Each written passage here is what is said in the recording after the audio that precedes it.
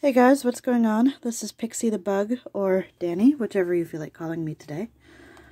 Um, I missed last week, that's because it was Halloween, and believe me, we were way too busy for me to have time to, to post anything, so I am hanging out today, well, we are hanging out today in Delaware. We're going to hang out with the Selbyville Swamp Monster.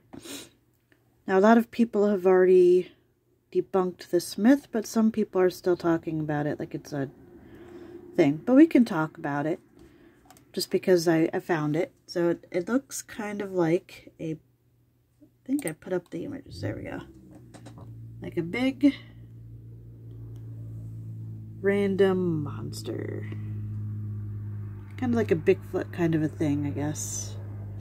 That seems to be a, a pretty uh, common thing is Bigfoot. Oh, look at this. Look at this. It's supposed to be a stuffed animal. That's cute. Excuse my voice today, guys. My I have allergies and apparently didn't think to uh, take it before I recorded, which seems to be a big thing for me. Um,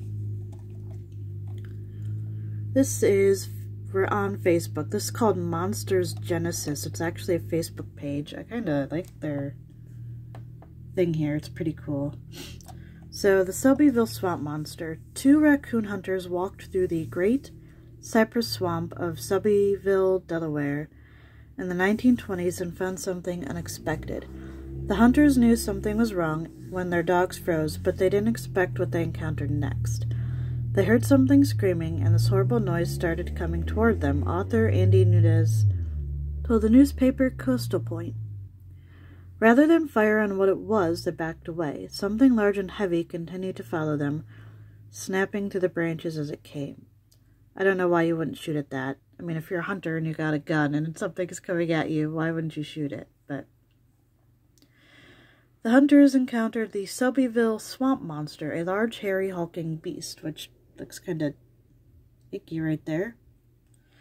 An editor of the Delmarva News, Ralph Grapperhaus, claimed he created the Selbyville Swamp Monster as a hoax in the 1960s and dressed friend Fred Stevens in a hairy costume Stevens used to terrify motorists on Route 54.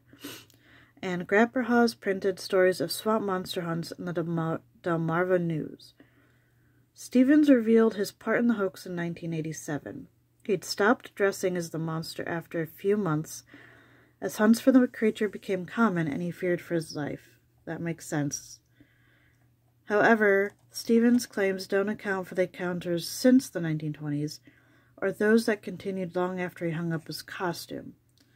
So, he created this monster just to mess with people.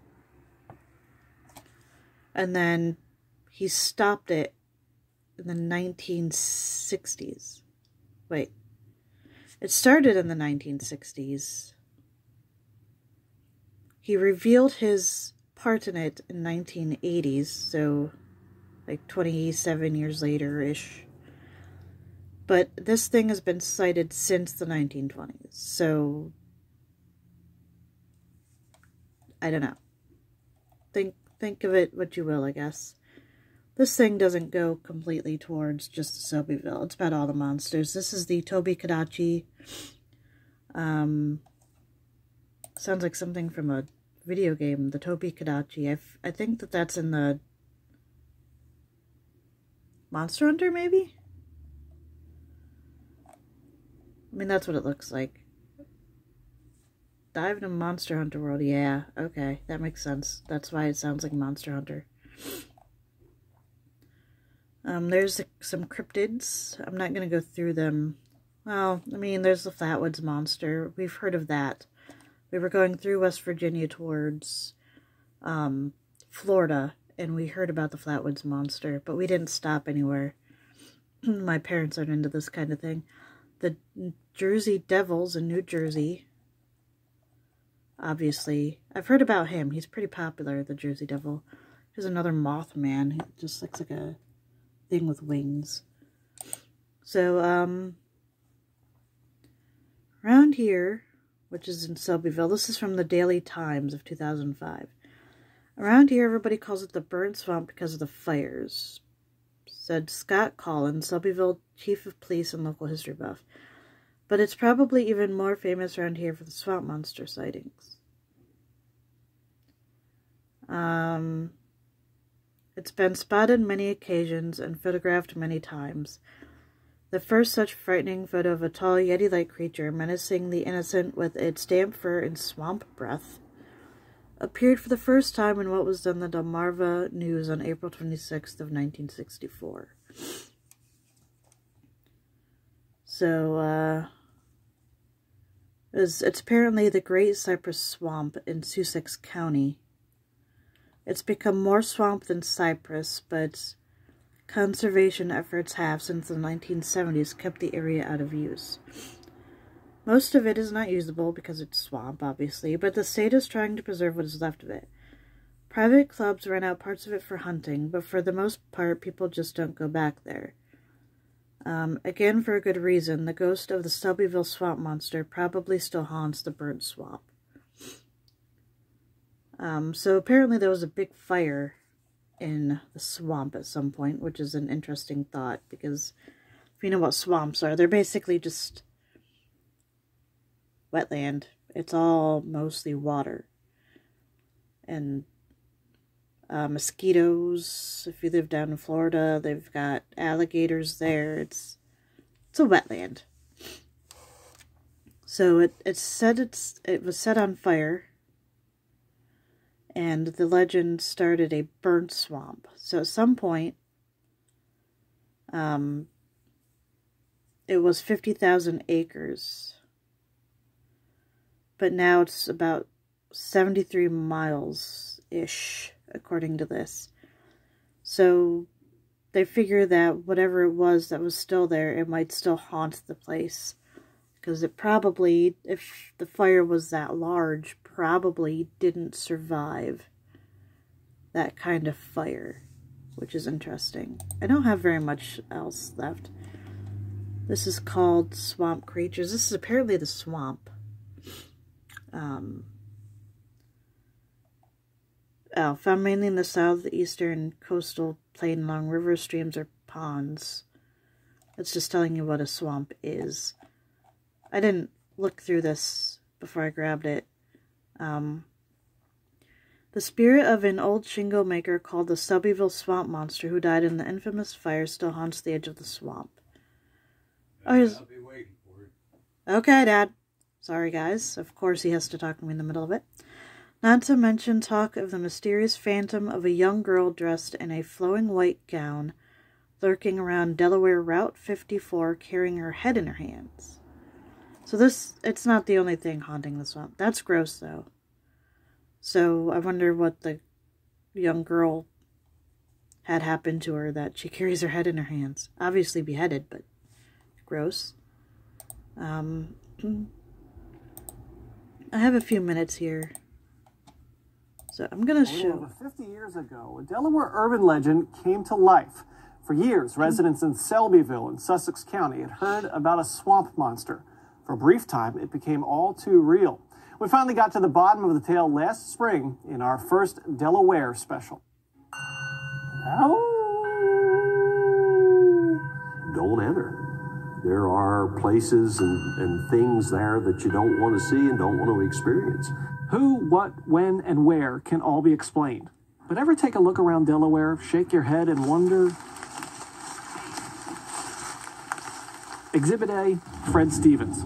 Back in the 1920s, people started reporting hearing screams at night when they were out in the cypress swamps just west of Fenwick Island. Out to the coast of Maryland. That's not too far. Some started claiming they not only heard screams, but they were chased by a big hairy creature. They heard tree branches snapping, and they would run for their lives. It hit a fever pitch in 1964. I'm Fred Stevens. I was a swamp monster 50 years ago.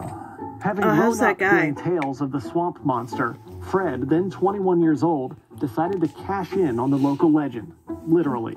At the encouragement of his friend, local newspaper employee He's Ralph got the, Grapperhaus, the thing still. Fred created a swamp monster costume using his Aunt Dorothy's raccoon fur coat, all with newspaper sales in mind. and they jump out on them, you know. And some of them would quit before they got up to me, you know, back down the road. to the It sure farm, says you know. Swamp Monster, the The man, the dirty myth, the journalism legend. quickly got dirtier.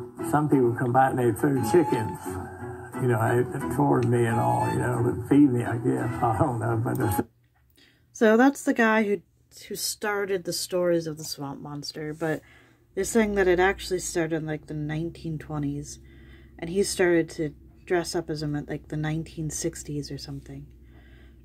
If you want to finish watching it, it's from somebody called Chicken Parm. Um, a piece I shot in 2014, where after 50 years, the mystery behind these 1964 sightings of the Selbyville swamp monster in Delaware was revealed. So that that must be chicken parm right there, maybe? I don't know. Look at that. Look at that weapon. That's cool. It's got like a freaking club to it. But um I'm gonna leave it here. You can watch the rest of it. It's three minutes long. We watched three minutes and twenty two seconds long. And we watched a minute fifty. So if you want to watch the rest of it, feel free. Um this is just Selbyville itself. We already saw it. It's down there near Maryland. And then the Facebook thing. I'm running through this. We're going to head to, to church. That's why I'm rushing. Um, I wasn't planning on going to church, but uh, there's the music scene. You know about the Selbyville Swamp Monster and the Black Widow Spiders of Lower Delaware. That's gross. I don't... It looks like a decaying dog. Um, DE Center for Inland Bays Post. Um, they're looking to plant over 500 trees, blah, blah, blah. It says, catch a glimpse of the legendary Selbyville swamp monster who some think still haunts these woods. Um, there's a couple things there, but I don't think there's anything... There's Delaware beach towns that's that's really into it on here. Um, so that's it, guys. That's the Selbyville Swamp Monster. That is Delaware. And uh, next week, next Sunday, we'll be going to Florida and hanging out with a skunk ape. That's an interesting one. Didn't know it existed. So um, we went to Florida this past spring for Disney for the first time in years. So uh, I wonder where it's at. But we'll get into that next week, guys. If you're interested, like, subscribe, and ding the bell so that you can watch the rest of the stuff that I'm doing. So, alright, guys, I will talk to you later. Have a good week. Bye.